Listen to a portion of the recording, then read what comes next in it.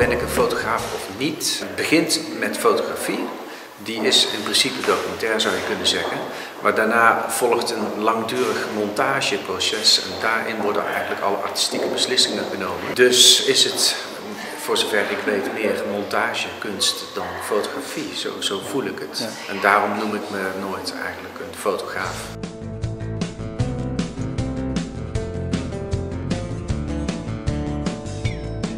Om ze zo, zo strak mogelijk naast elkaar te zetten en dan toch nog een diepte te krijgen. Waardoor het eigenlijk een beetje een stadslandschap lijkt. Het wordt allemaal gemonteerd uit meerdere foto's. Elk detail. Van het licht klopt nooit niets uh, in mijn foto's. Ik kan daar geen rekening mee houden. Ik zet alles gewoon bij elkaar.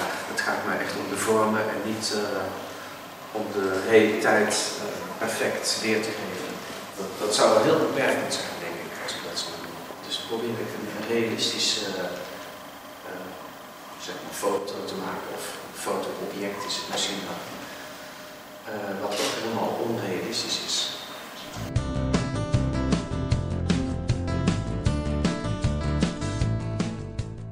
Ik, vind het altijd heel leuk om leven, het leven uit te beelden in al zijn meest bizarre vormen. Het kan lelijk en mooi tegelijk zijn.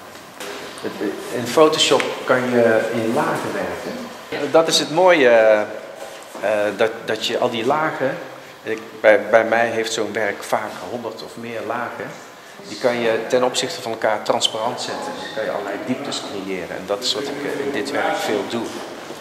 En kan het vermengen met elkaar. Dus hoeveel lagen het precies heeft, dat weet ik, weet ik niet. Dat is heel veel. Uh... Ook ontstaat al werkende. Ja. Dus ik maak geen schets van al dit soort dingen. Nee. Ik werk vanuit de foto's die ik heb. Dus uh, je combineert gewoon allerlei dingen ja, zo'n zo heb je een, een, een, bepaalde foto die is gewoon bruikbaar om uh, meerdere keren toe te passen. Alleen wel in een iets andere vorm of context.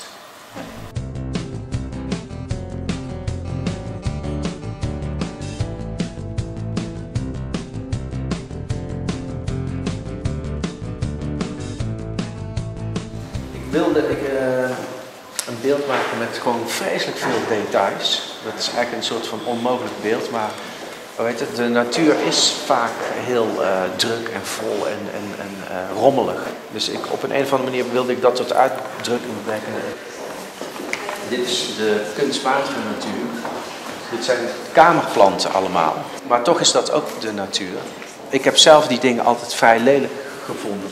Ja, het stond er alsof het mooi bedoeld was. Ik vond het als kind in ieder geval nooit mooi.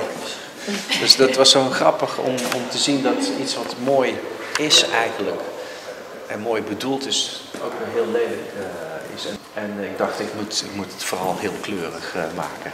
Heel knallend en kleurig gewoon. Het duurt vrij lang, het duurt uh, weken, zal ik maar zeggen, voordat ik dit af heb. Dus ja, het is een kwestie van schuiven en kijken wat er gebeurt. En ook weer dingen bij fotograferen. Nieuwe vormpjes, nieuwe planten. Het thema, de, de menselijke sentimenten als onderwerp te hebben, vond ik niet uh, interessant. Ik had daar eigenlijk niks meer mee te melden op dat moment. En ik zag dat ik abstracties en schilderachtig kon gaan werken als ik alleen maar de natuur uh, zou gebruiken. En dat vond ik heel interessant, om, om die, dat schilderachtige en de abstractie, die abstractie uh, uit te drukken. Ik heb daar gewoon een aantal sferen zeg maar, meegemaakt die uh, tot dynamische beelden konden leiden. Uh, ja, men zegt dat het in de geschiedenis van de fotografie past. Dus al in 1860 heeft een fotograaf, die heette geloof ik Rijlander, ook al montages gemaakt. En dat is gewoon iets wat altijd is doorgegaan in de fotografie. Dus het past wel in de fotografische traditie.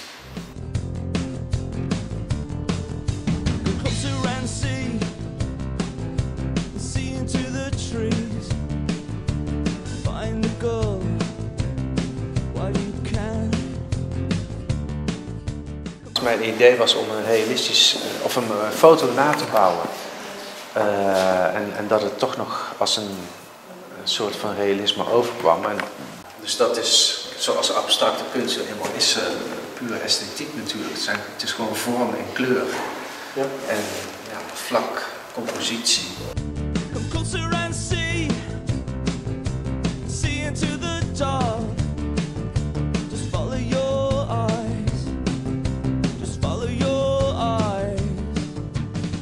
Het is natuurlijk veel meer als beeldende kunst, omdat ik eh, vanuit niets begin uh, op te bouwen en uh, tot een beeld kom wat ik zelf helemaal onder controle heb. En dat is echt fundamenteel iets anders dan wat fotografen doen die buiten documentair fotograferen. De compositie bijvoorbeeld heb ik meer onder controle. En probeer zo een realistische foto na te bouwen eigenlijk. Een, ja, een, een, een fotokunstenaar. Ja ik, ik vind het woord fotoobject vind ik wel een mooie eh, term voor, voor dit soort van werk wat ik maak. Het zijn een soort fotoobjecten. Het is niet klassieke fotografie, maar meer het object ervan. Het, eh, ik, ik fotografeer alle onderdelen apart, knip die uit. Eh, die zet ik dus eerst in een database waaruit ik put als ik aan het werk ben kies dan bepaalde foto's die ik uitknip, waarvan ik delen uitknip. En die pas ik in elkaar en uh, maak zo een compositie.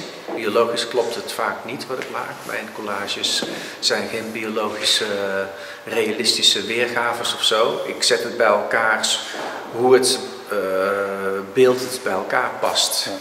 Wat dat samen doet. Langzaam heb ik geprobeerd die grens op te zoeken. Dat is, daar is dit dus een, een voorbeeld van, van een werk waarin die grens uh, vrij dicht is genaderd. Ja. En je de realiteit alleen maar ziet door dit kleine spleetje eigenlijk. Uh, als je dat ervaart, dan, dan snap je pas dat je in een uh, soort teleshot staat van een, van een bos met bomen die achter elkaar tevoorschijn komen. En waar je nog een klein beetje de diepte kan zien van het, van het hele land. Nee, dat ga ik niet laten verdwijnen, want dan, dan is het geen realistische fotoweergave meer. En dan, dan wordt het eigenlijk gewoon collage kunst. Wordt het iets anders weer. Dus ik wil het wel fotografisch houden. Ja.